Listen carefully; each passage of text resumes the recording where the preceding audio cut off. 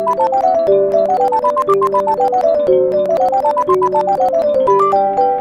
all the drawings in this Matisse book, I decided to do this drawing.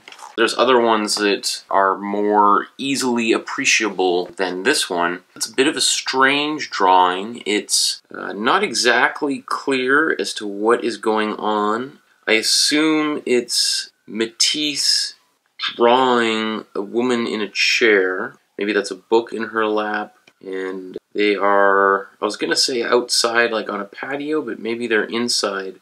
And those are windows looking outside.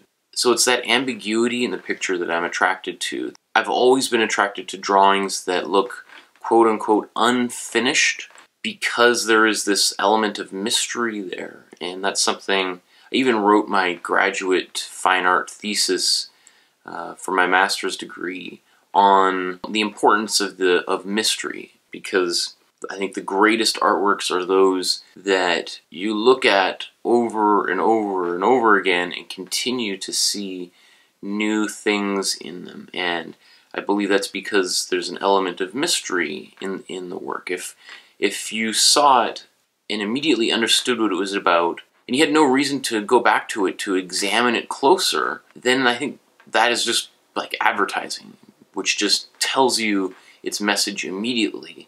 And art, I think, inspires kind of a deeper thinking that it starts to invade your mind. And of course, like advertising can work in a similar way, you know, when you get a jingle stuck in your mind. Kool-Aid, Kool-Aid. For the very best drink you ever made. But I think most advertisements you want to get out of your head. Head on, apply directly to the forehead. Head on, apply directly to the forehead. You get sick of a jingle, whereas a great piece of artwork starts to influence your life in a positive way. It, it makes you aspire to something greater.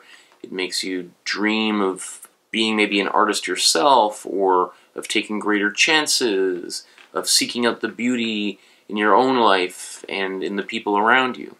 One thing I forgot to mention in relationship to all of this is that I've been a professional artist for almost 20 years, and despite how avant garde and open minded I like to think I am, I still have a very concrete, solid idea of what constitutes a finished drawing, and it is very hard for me to allow something to be really loose and unfinished. And I'm obsessed with the unfinished. So it just goes to show how hard that mental switch is.